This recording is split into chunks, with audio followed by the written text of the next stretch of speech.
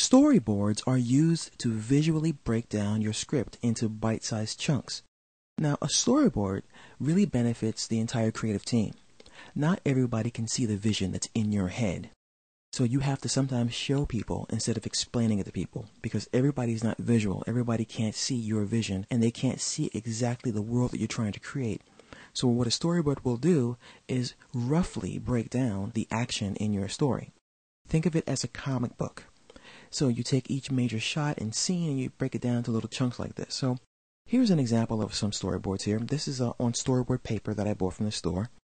And I just have an exterior shot of a city and then you see these giant legs coming into town, like giant spiders on the way. And I have a description of what's happening here. Now, don't worry if you can't read it because it's blurred. You know, I'm just blowing this up as big as I can in this application here. Then we see another shot of the spider attacking, and then we see the newscaster calling, you know, Hamstervice, which is which are the heroes who are going to go and save the city. This is their reaction to the alarm in the newscast. They're like, "Whoa!" So one guy's eating lunch. He's like, "Oh, okay, I'll, I'll get with the program." And these guys is he's working out his weights, he sees what's happening, and the team heads into action. Now, this is once again storyboard paper that I bought from the store, but my company uses this paper that I designed. This is the storyboard paper, and it's provided for you on your CD or you can download it from the VTC website.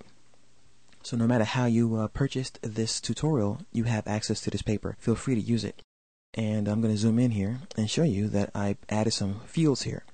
Here's where you draw your artwork and you type the name of the production. So, you know, Hamstervice, for example. And you could put the storyboard artist name here and the date.